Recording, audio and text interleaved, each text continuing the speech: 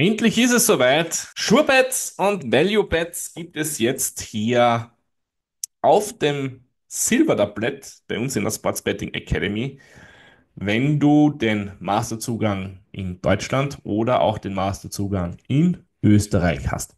Ich zeige dir das jetzt hier mit dem Masterzugang in Deutschland, weil der ist eben ganz speziell, weil wir hier nur mit weit gelisteten Wettanbietern arbeiten können und somit wurde das hier für Deutschland an diese Situation angepasst. Und ich zeige dir, was auf dich jetzt hier wartet, wenn du diesen Masterzugang hast und du das Thema SureBets und ValueBets zum Beispiel anwenden möchtest und wie du das auch bedienst. Das heißt, ich gehe mit dir jetzt in diesem Video alles zusammen durch. Das erste, was du natürlich brauchst, ist einmal den Masterzugang für Deutschland bzw. für Österreich.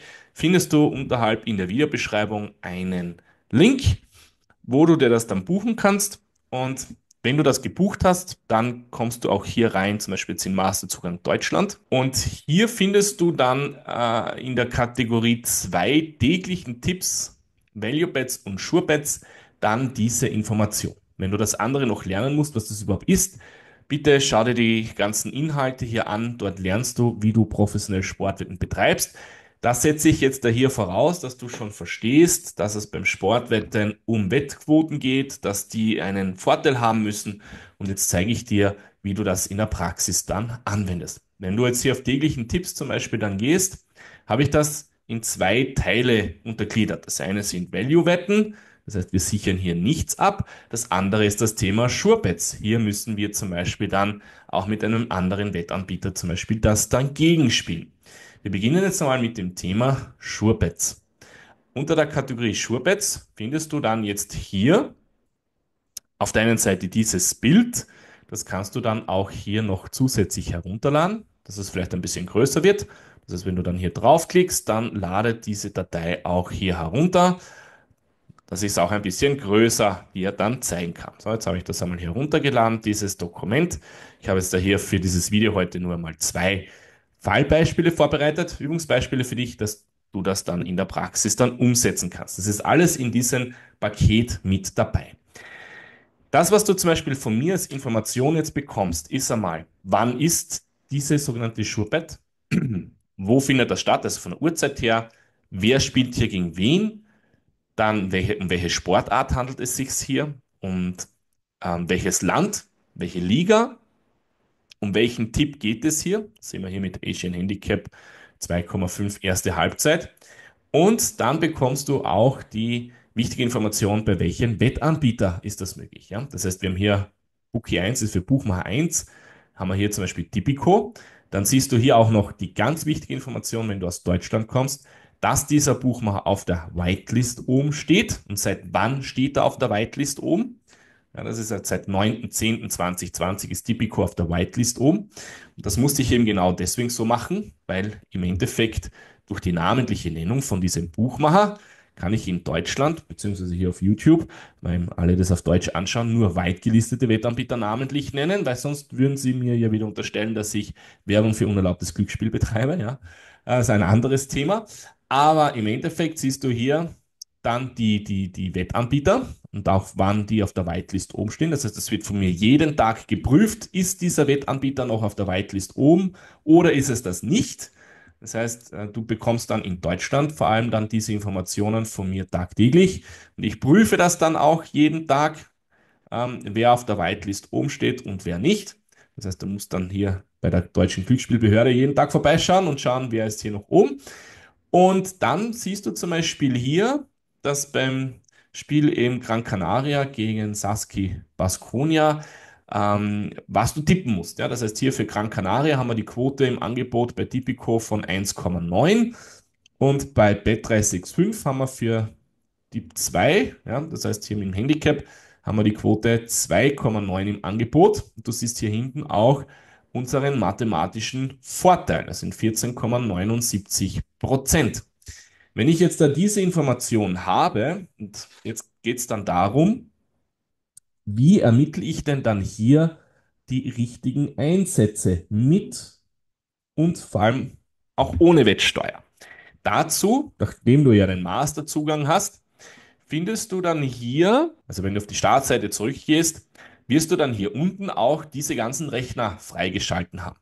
Und du brauchst jetzt dafür diese Vorgehensweise den sogenannten Schurbettrechner. Wenn du da dann drauf gehst und hier drauf gehst, hier drauf gehst, dann öffnet sich dieser Rechner für dich. Jetzt trage ich hier ein. Das erste war hier Tipico. Dann trage ich hier ein, das war Bet365. Dann trage ich hier die erste Quote ein, das war 1,90. Und hier trage ich die zweite Quote ein, das war 2,90. Wenn ich jetzt eine Wettsteuer habe, kann ich das hier oben dann noch einschalten. Machen wir mal das Beispiel, ich mache es jetzt ohne Wettsteuer und ich sage jetzt, da habe ich zum Beispiel 100 Euro zur Verfügung. Dann siehst du, dass hier eine Berechnung durchgeführt wird. Dann sagt dieser Rechner zu dir, okay, wenn du da keine Wettsteuer hast, spiel 60,42 Euro auf die 1,9er Quote bei Tipico und 39,58 bei Bet365. Das Ganze kannst du natürlich auch noch runden. Das heißt, dass du volle Eurobeträge spielst. So wie hier 60 Euro hier und 40 Euro hier. Und dann siehst du hier unten, dass es jetzt egal ist, wie das Spiel ausgeht. Wir werden zwischen 14 bzw. 16 Euro Profit machen. Ich schalte jetzt das Round Stakes noch einmal ein. Jetzt nehmen wir mal an, du hast eine Wettsteuer zu bezahlen. Dann gehst du hier auf Tax und stellst hier um auf 5,3 Prozent und du gehst hier auf Tax und stellst hier auch um auf 5,3 Prozent. Also nehmen wir mal an, du hättest bei beiden eine Wettsteuer zu bezahlen. Dann kannst du, mir, kannst du dir vorher schon einmal anschauen, ob sich das mathematisch ausgeht. Hier oben könntest du noch reinschreiben, um was es hier geht. Das war jetzt das Asian Handicap, A, ACH, ähm, ACH 2,5. Dann haben wir hier ZIP 1 und dann könntest du das hier auch noch schreiben, 2,5 äh, ZIP 2, wenn du das jetzt möchtest, ja. Das ist jetzt einfach nur, dass du dann weißt, auf was du wetten solltest dann. Viel entscheidender ist das hier unten, dass du hier die richtigen Einsätze dann ermittelst und auch ähm, mathematisch dann dir darstellen lassen kannst, geht sich das mathematisch noch aus mit dieser Wette oder geht sich das nicht mehr aus. Also in diesem Fall würde jetzt da bei beiden eine Wettsteuer fällig sein, würde sich das hier super schön ausgehen. Wenn du zum Beispiel 100 Euro mathematisch so aufteilst wie hier, kann das jetzt auch nochmal runden. Das würde ich 60 Euro auf diese Quote setzen und 40 Euro auf diese Quote setzen. Ist egal, wie das Ergebnis jetzt ausgeht. Ich würde hier zwischen 8 bzw. 10 Euro Profit mit dieser einen Wette schon generieren auf einen Einsatz, einfach einen Gesamteinsatz von 100 Euro. Schauen wir uns das zweite Beispiel an. Das zweite Beispiel hier ist auf ein Handballspiel Deutschland Frauen. Hier haben wir frisch auf Göppingen gegen Neckar Sulma im Handball haben wir äh, die klassische Siegwette, wo wir bei Tipico, das ist hier wieder von der Whitelist her, wann die auf der Whitelist oben stehen. Also Tipico haben wir hier Siegtipp 1 mit der Quote 1,85 und Bet365 haben wir hier die Doppelchance X2 mit der Quote 2,5 wo hier ein Profit von 6,32 Prozent äh, vorhanden ist. Und das können wir jetzt hier wieder in diesem Rechner prüfen, ob sich das mit der Wettsteuer ausgeht. Das heißt, wir haben hier wieder Tipico, haben wir hier zum Beispiel äh, Sieg 1 und wenn ich das mit einem Bindestrich äh, trenne, habe ich hier Doppelchance, Doppel oder DC X2, dann haben wir auf alle Möglichkeiten. Und hier haben wir jetzt die Quote 1,85 und bei Bet365 haben wir die Quote 2,5. Jetzt tun wir mal das Round Stake noch weg. Jetzt siehst du zum Beispiel hier, dass das mit der Wettsteuer schon sehr knapp wird. Ja, wenn ich jetzt da hier bei beiden 5,3% habe, geht sich das hier Grad und Grad noch aus. Deswegen habe ich jetzt hier nur ein Beispiel vorbereitet, dass du auch siehst, dass sich das hier noch ausgeht. Wenn ich jetzt zum Beispiel bei einem Buch mal eine Wettsteuer habe und beim anderen nicht, das könnte zum Beispiel auch sein, dann kann ich hier zum Beispiel die Wettsteuer ein- und ausschalten. Dann siehst du, dass das hier neu berechnet wird und hier dann dementsprechend, wenn ich jetzt zum Beispiel so 100 Euro wieder aufteile, genau nach diesem Verhältnis, ich hier zum Beispiel 3 Euro Profit generiere, wenn ich bei dem eine Wettsteuer habe und bei dem zum Beispiel nicht. Wenn ich bei beiden keine Wettsteuer habe, dann siehst du, dass ich hier 6,32 Euro Profit generiere bei zum Beispiel diesen weit gelisteten Wettanbietern. Kann das natürlich hier unten auch wieder runden, ja, das heißt 57 und 43 Euro wo ich das dann hier aufteile und das auf volle Eurobeträge runde. Das ist einmal der erste Bereich, der was jetzt da hier neu dabei ist. Nur, dass du auch siehst, wie man das verwendet. Du musst halt hier diesen Schurbit-Rechner auch bedienen können. Wenn du hier Hilfe brauchst, bitte komm einfach auch zu mir in mein Live-Coaching. Abend, ja, das heißt, wir haben hier jede Woche jetzt einen Live-Coaching-Abend über Zoom, wo wir das zusammen trainieren und üben, so dass du das dann wirklich eigenständig für dich umsetzen kannst. Den zweiten Bereich, den was ich dir heute zeigen möchte, der hier auch mit dabei ist, ist das Thema Value-Wetten mit weit gelisteten Wettanbietern, wenn du aus Deutschland kommst. Dazu gehst du hier auch auf tägliche Tipps, Value-Bets und Sure-Bets und gehst hier auf das Thema Value-Wetten. Hier hast du dann auch wieder diese Darstellung, diese Grafik, die wird natürlich dann immer angepasst. Man kann das hier zum Beispiel auch wieder herunterladen. Hier siehst du zum Beispiel nun diese Informationen von mir wieder das Datum, wann das ist, die Uhrzeit, um welches Spiel es sich hier handelt, also wer gegen wen spielt, welche Sportart hier ähm, ge gesucht wird, das heißt das Basketball, Frankreich zum Beispiel das Land, die Liga, dann um welche Wettart es sich hier handelt, um welchen Tipp es sich hier handelt, um welchen Buchmacher es sich hier handelt, auch steht er auf der Whitelist oben oder nicht in Deutschland und seit wann steht er auf der Whitelist oben. Das wird dann eben, wie gesagt, auch hier jeden Tag von mir geprüft, ob der noch auf der Whitelist oben steht oder nicht, um eben hier wieder nicht das Thema zu haben, unerlaubte Werbung für unerlaubtes Glücksspiel hier im Raum zu stellen. Na? Ähm, somit haben wir hier eben nur die Whitegelisteten, das haben wir hier Bet365 und Betway. Und du bekommst zum Beispiel von mir auch die Information, wie wahrscheinlich wird denn diese Situation eintreten, das heißt, hier siehst du das dann in Prozent, 34 Prozent, 41 Prozent, 38 Prozent, 25 Prozent. Diese Information, also wie wahrscheinlich das eintritt, beziehe ich über den Marktdurchschnitt. Ja, das heißt, wir haben dann viele, viele, viele verschiedene Wettanbieter am Markt und über diesen Marktdurchschnitt ermittle ich dann die Eintrittswahrscheinlichkeit, wie wahrscheinlich so etwas sein wird. Und dann haben wir hier im nächsten Punkt die Darstellung wo liegt denn dann die faire Wettquote? Das heißt, wenn es da das zu 34 Prozent eintreten soll, ist die faire Wettquote bei 2,94. Ja, das ist die Umrechnung von dieser Wahrscheinlichkeit in eine Wettquote. Und dann sehen wir hier hinten die Wettquote vom Buchmacher, die was ich bekomme. Ja, Bet365 bietet mir für diese Situation die Quote 4,20 an. Somit liegt die höher als wie 2,94 und hat jetzt da einen sogenannten Value-Gehalt von 44% Und das siehst du jetzt da hier auch bei allen anderen Tipps. Was du jetzt da dann brauchst dazu, um das auch zu verstehen, ist dann der sogenannte Value-Wetten-Rechner von der Sports Betting Academy. Und das zeige ich dir jetzt da auch hier mit einem Übungsbeispiel, mit dem ersten oben, wo wir die Quote 4,2 und 2,94 dieses Verhältnis hier haben mit einem Value-Gehalt von 44% und einer Eintrittswahrscheinlichkeit von 34% Und zwar findest du dann hier diesen sogenannten äh, Value-Wetten-Rechner.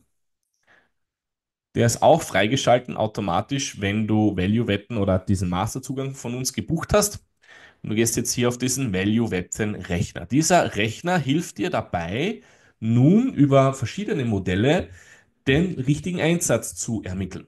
Ja, das ist, wenn du jetzt da zum Beispiel sagst, ich habe jetzt da hier 1000 Euro Bankroll zur Verfügung und du möchtest jetzt da jede Wette maximal mit zum Beispiel 3% von deinem Gesamtkapital hier auf einem flachen Einsatz, ja, zum Beispiel 3%, äh, bespielen.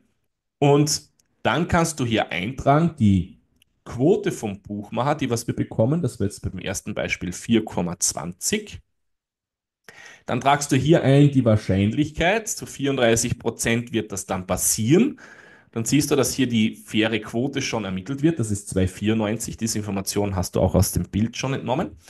Und dann siehst du hier, dann rechnet er dann aus, okay, du darfst jetzt da hier maximal 30 Euro auf diese Wette platzieren.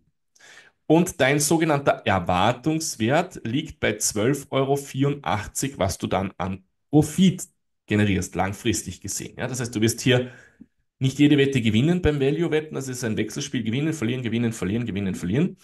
Und das ist natürlich jetzt schon ein exorbitant hoher Wert, 42,8 Prozent, was hier der Value-Gehalt ist. Da gibt es natürlich dann auch eher Beispiele, die was viel niedriger sind. Ähm, aber du solltest hier schauen, idealerweise, dass du Value-Quoten spielst, die hier idealerweise mindestens 10% haben. Weil wir können es dann eines noch machen, das ist jetzt dann noch ohne der Wettsteuer. Du siehst hier, wenn ich jetzt hier unten auf Yes gehe und ich gebe jetzt hier ein 5,3% Wettsteuer, dann wird das hier neu berechnet. Das heißt, dein mathematischer Vorteil ist dann noch 35,23% wenn du eine 4,2er Quote spielst, wo die faire Quote 2,94 ist. Und dein Erwartungswert liegt hier bei 10,57 Euro. Und das ist aber dann wichtig, dass du zum Beispiel dann auch ein, ein Buch führst für dich. Welche Wette habe ich gespielt? Wie hoch war mein Einsatz? Wie hoch war mein Erwartungswert und Value-Gehalt?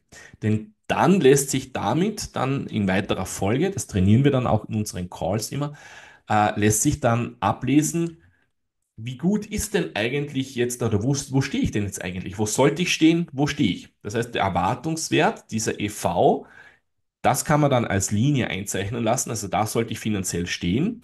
Und dann eben, wo bin ich in der Wirklichkeit? Ja, das heißt, wenn ich jetzt gewinne, dann gewinne ich mit einem Schlag sehr viel, weil ich ja 30 Euro auf die 4-2er-Quote, wenn ich die jetzt gewinne, bekomme ich ja viel ausbezahlt. Ja. Ähm, und dann hast du immer das Wechselspiel. Gewinnen, verlieren, verlieren, verlieren, gewinnen, verlieren, verlieren, gewinnen. Es kommt immer auf die Quoten drauf an. Und über eine große Anzahl an Wetten wirst du dann eben sehen, wie gut deine Strategie oder wie gut dieser Value-Gehalt eigentlich in Wirklichkeit ist. Und das zeige ich dir dann in den einzelnen Schulungen, wenn du bei mir den Masterzugang gebucht hast und an diesen Live-Abenden dann teilnimmst. Ja, es freut mich, dass ich dir dieses Service jetzt hier mit anbieten kann in der Sports Betting Academy und dass du hier einen weiteren Mehrwert hast, dass hier alles in einem All-in-One-Paket inkludiert ist. Die ganzen Rechner, das ganze Fachwissen und jetzt bekommst du hier auch noch die notwendigen Tipps von mir an die Hand, dass du hier mit dem Thema Sportwetten nachhaltig, mathematisch beweisbar, konstant Profite generieren kannst. Also wenn du den Zugang noch nicht hast, empfehle ich dir, den jetzt zu nutzen, zu buchen, dass du hier sofort auch in die Umsetzung kommst in Zusammenhang mit all diesen Dingen, was wir hier vorbereitet haben. Ich wünsche dir hier maximalen Erfolg. Wenn du Fragen hast, schreib mir doch auch einfach eine E-Mail oder einfach unterhalb in die Kommentare rein und ich werde dann auf das Stellung nehmen. Ich wünsche dir alles Gute, alles Liebe und bis bald. Dein Daniel Winterholzinger. Bis bald. Ciao.